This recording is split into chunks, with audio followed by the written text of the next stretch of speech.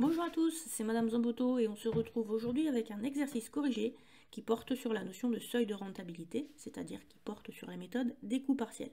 Dans cet exercice, on sera amené à revoir la notion de compte de résultat différentiel, à calculer un seuil de rentabilité en valeur et en quantité, à calculer un point mort, à déterminer le risque d'exploitation de l'entreprise et à envisager une modification des conditions d'exploitation pour voir si euh, un investissement serait profitable ou pas pour l'entreprise. Prenons connaissance tout de suite de l'énoncé. Vous pouvez évidemment prendre en photo cet énoncé afin d'avoir systématiquement les données à portée de main lorsque vous allez traiter l'exercice. L'entreprise Dossac fabrique des sacs à dos. Elle travaille régulièrement tout au long de l'année, ce qui signifie qu'elle n'a pas de mois de fermeture. Au cours de l'exercice N, 50 000 sacs ont été vendus au prix unitaire de 25 euros hors taxe. Le comptable vous fournit le détail des charges de l'exercice.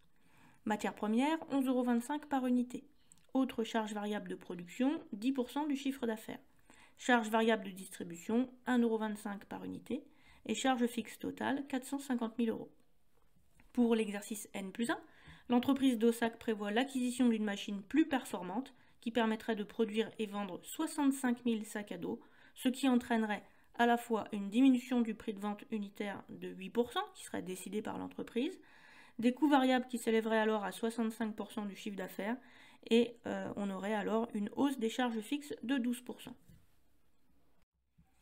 Dans une première partie, vous allez devoir présenter le compte de résultat différentiel de l'entreprise d'OSAC pour l'année N, déterminer le seuil de rentabilité en valeur et en quantité, le point mort, et puis au niveau du risque d'exploitation, calculer la marge et l'indice de sécurité.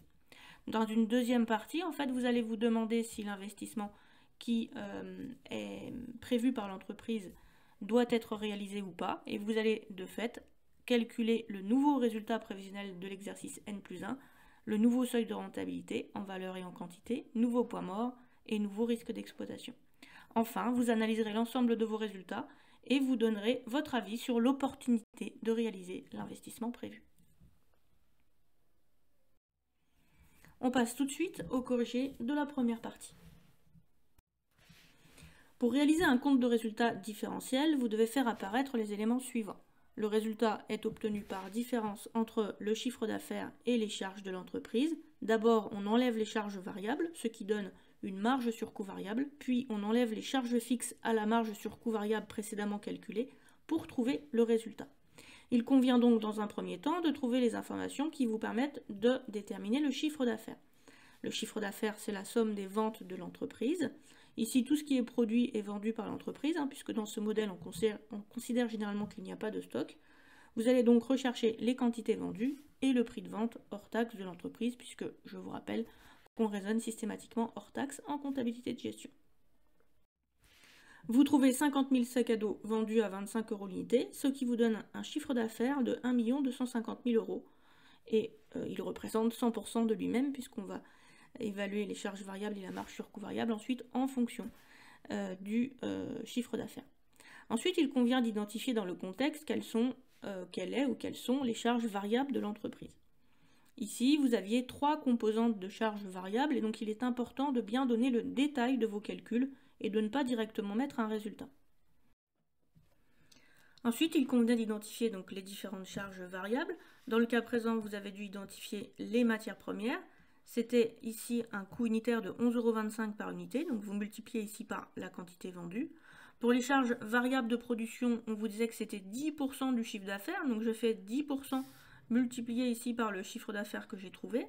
Et pour les charges variables de production, 1,25€ par unité, donc 1,25€ multiplié par la quantité vendue. En additionnant ces trois éléments, ça vous donne 750 000 euros. Et pour trouver ici le pourcentage de 60%, c'est-à-dire combien représentent les coûts variables par rapport au chiffre d'affaires, eh bien je prends les 750 000 qui sont ici et je les divise par le chiffre d'affaires.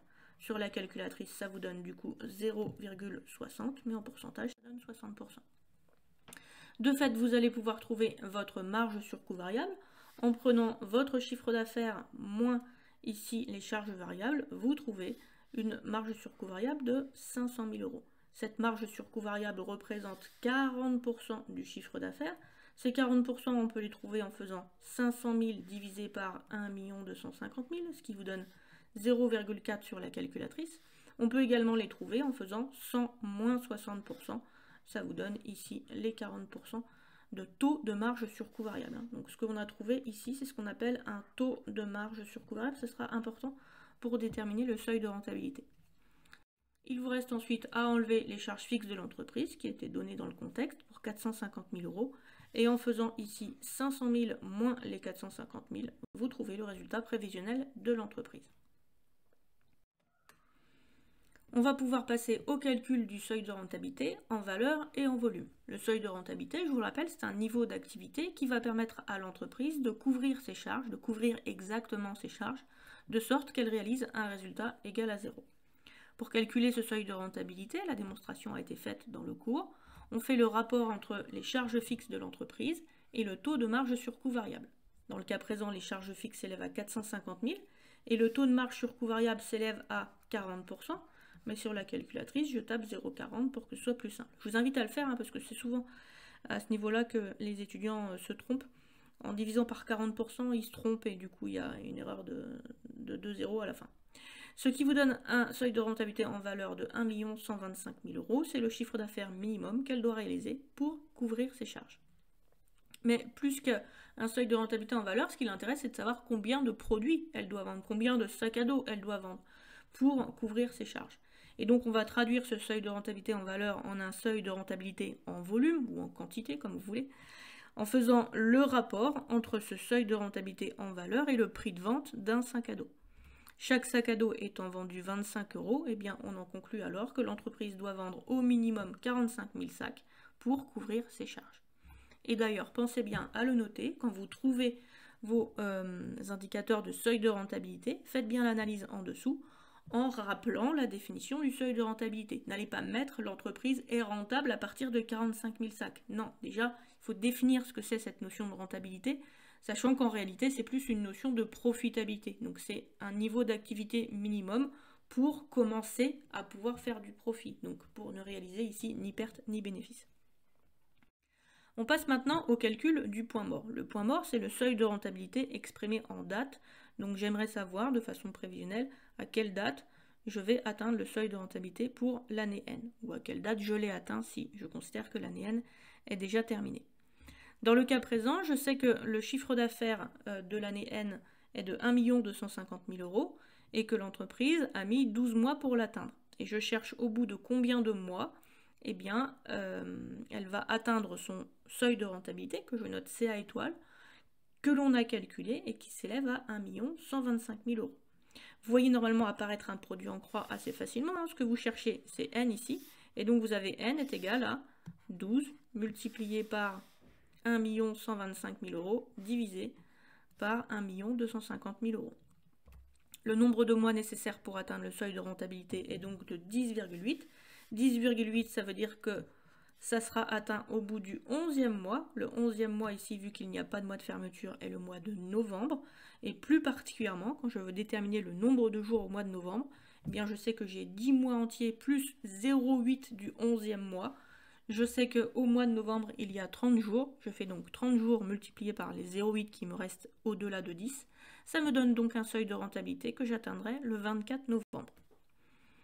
Je mets juste une petite phrase euh, pour préciser euh, l'analyse de mon résultat.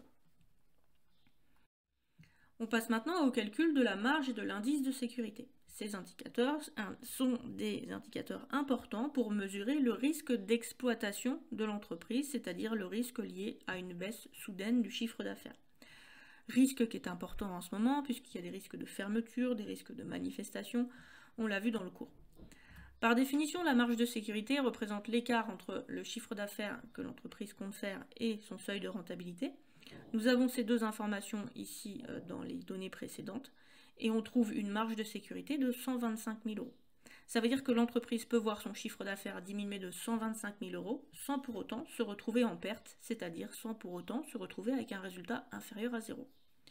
Mais mieux qu'une marge en valeur, c'est mieux de l'avoir en pourcentage. Et donc on calcule un indice de sécurité en faisant le rapport entre la marge de sécurité et le chiffre d'affaires prévisionnel de l'entreprise. En faisant 125 000 divisé par 1 250 000, on trouve 10%, ce qui veut dire que l'entreprise peut voir son euh, chiffre d'affaires baisser de 10% sans pour autant se retrouver en perte.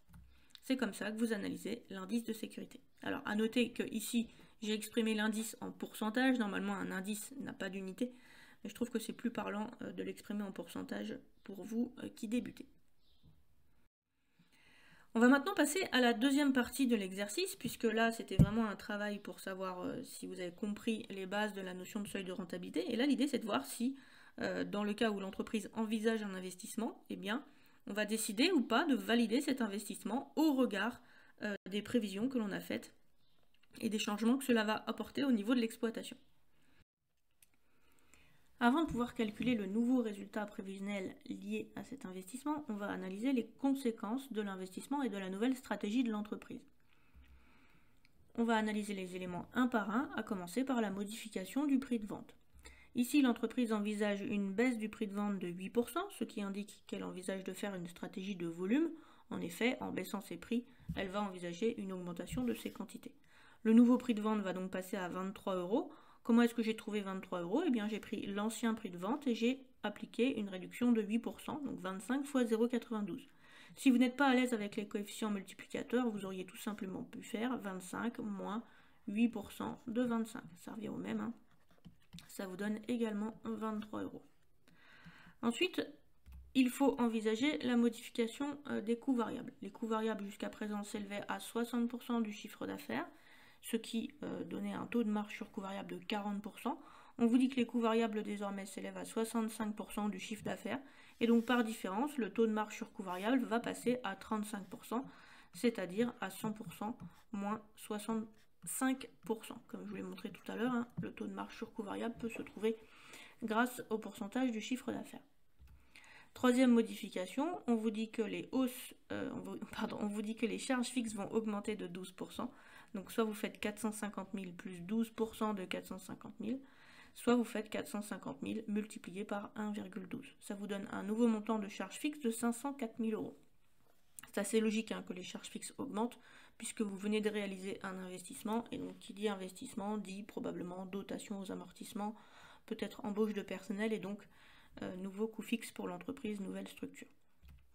Enfin, on n'oublie pas le fait que les quantités vendues passent de 50 000 à 65 000 sacs à dos, ce qui va du coup modifier euh, les éléments du compte de résultats différentiels. Voici le nouveau compte des résultats différentiels qui tient compte de toutes ces modifications. Donc on commence par le chiffre d'affaires. Vous voyez qu'ici j'ai modifié les quantités vendues qui étaient à 50 000 tout à l'heure qui sont passées à 65 000 et je multiplie par le nouveau prix de vente que j'ai trouvé qui est de 23 euros. Ça me donne un chiffre d'affaires de 1 495 000 euros. Pour déterminer les coûts variables, je ne vais pas faire comme tout à l'heure à euh, prendre le, détail des éléments. Je vais directement me servir ici du pourcentage de coûts variables qui m'est donné. On vous dit que les coûts variables s'élèvent à 65% du chiffre d'affaires. Je fais donc 65% du nouveau chiffre d'affaires, soit 1 495 000 fois 65%. Je peux ainsi déduire la nouvelle marge sur coût variable en faisant 1 495 000 moins 971 750. Enfin, en enlevant les charges fixes à cette nouvelle marge sur coût variable, je trouve ici le nouveau résultat qui est de 19 250 euros. Il me reste à analyser ce résultat et euh, à compléter ce résultat avec des indicateurs comme le seuil de rentabilité, le point mort et le risque d'exploitation. Mais d'ores et déjà, je peux constater que ce résultat prévisionnel est inférieur au résultat que je réalise actuellement. Je vais calculer pour le confirmer le nouveau seuil de rentabilité en euh, valeur et en quantité, le nouveau point mort, et également l'indice de sécurité de l'entreprise. J'applique les mêmes euh, formules que tout à l'heure, c'est pour ça que je ne les ai pas remises ici. Hein. D'habitude, je, justifie bien en mettant d'abord la formule de calcul, ensuite je pose le calcul, ensuite je mets le résultat. Ici, j'ai simplement mis au numérateur mes nouvelles charges fixes, au dénominateur mon taux de marge sur coût variable. Ça me donne 1 440 000 euros. Le seuil de rentabilité en quantité s'obtient en euh, prenant le seuil de rentabilité en valeur et en divisant par le nouveau prix de vente, ce qui nous donne 62 609 sacs environ. Euh, j'arrondis systématiquement ce seuil de rentabilité en quantité à l'unité supérieure. Je euh, fais la même méthode que tout à l'heure pour déterminer euh, la date du point mort. Donc je sais ici que mon chiffre d'affaires prévisionnel avec l'investissement est de 1 495 000 euros. Il faut n mois pour atteindre le seuil de rentabilité qui lui est de 1 440 000. Eh bien je fais petit n égale 1 440 multiplié par 12 divisé par 1 495 000. Ça me donne 11,56 mois, c'est-à-dire 11 mois entiers et 0,56 du 12e mois. Je vais donc atteindre mon seuil de rentabilité en décembre et plus particulièrement le 17 décembre. Alors ici pour les 0,56 j'ai multiplié par 30. J'aurais tout aussi bien pu multiplier par 31 puisque le mois de décembre a 31 jours. On n'est pas un jour près, hein, on est sûr du prévisionnel. En tout cas, on peut déjà constater que le 17 décembre, c'est pas très tôt, on n'a pas beaucoup de marge de manœuvre. Et ça va se confirmer avec le calcul de la marge et de l'indice de sécurité, même méthode que tout à l'heure. Donc je fais la différence entre le chiffre d'affaires prévisionnel et euh, le seuil de rentabilité. Je trouve 55 000 euros. Et pour l'indice de sécurité, je trouve un indice qui est à 3,68%, euh, qui est inférieur à l'indice de tout à l'heure qui était euh, de mémoire de 10%. Une fois qu'on a tous nos résultats, eh bien on les compare. Donc on compare le résultat actuel le seuil de rentabilité actuel, le euh, point mort actuel et euh, l'indice de sécurité actuel avec ceux qui sont envisagés avec l'investissement. Et on constate que, bah désolé, mais tout va mal. En l'occurrence, le résultat de l'entreprise est en baisse, le seuil de rentabilité en valeur en quantité, lui, est en hausse, ce qui signifie que l'entreprise devra euh, vendre plus pour pouvoir commencer à réaliser des bénéfices. Et puis le seuil de rentabilité est atteint plus tard dans l'année, alors légèrement plus tard, hein, on est à une vingtaine de jours près, mais du coup ça va être euh, atteint en décembre, donc ça laisse vraiment peu de marge de manœuvre. En témoigne euh, l'indice de sécurité qui est plus faible qu'avant, donc on a un risque d'exploitation plus marqué. Du coup, si on se base sur les données actuelles, sur les données prévisionnelles actuelles, eh bien l'acquisition de la machine ne semble pas être profitable pour l'entreprise. À voir après si vous êtes au maximum de la capacité de la machine, puisque actuellement, donc on prévoit ici d'avoir un, euh, niveau de vente qui est à 65 000 sacs. Peut-être que l'entreprise pourrait développer encore ses ventes, donc trouver de nouveaux débouchés pour pouvoir euh, dégager davantage de profitabilité. Mais là, juste avec 65 000 sacs, ça ne semble pas être intéressant pour l'entreprise. Et eh bien voilà, c'est déjà fini pour la correction du cadeau sac, euh, qui a le mérite de vous faire revoir l'ensemble des bases sur la méthode des coûts partiels, sur la méthode du seuil de rentabilité. Donc bien sûr, euh, revoyez bien euh, vos définitions, vos formules de calcul, la démarche de résolution, la démarche de justification surtout, puisque même si vous avez faux le jour d'un examen, eh bien on compte justement euh, le, raisonnement qui vous a permis de trouver euh, votre marge sur coût variable ou votre résultat. Et donc il est important systématiquement de bien mettre le détail de tous vos calculs. Et eh bien en attendant de se retrouver sur un nouvel exercice, je vous invite à mettre un petit j'aime, à partager cette vidéo pour que vos camarades euh, fassent l'exercice, pourquoi pas, à me mettre un petit commentaire et puis n'hésitez pas à découvrir toutes les autres vidéos que j'ai sur ma chaîne, en compta, en fisca, en analyse financière, il y en a pour tout le monde. Et bien sûr, si vous voulez euh, recevoir en avant-première la vidéo, n'hésitez pas à vous abonner et à activer la cloche de notification sur la chaîne. A très bientôt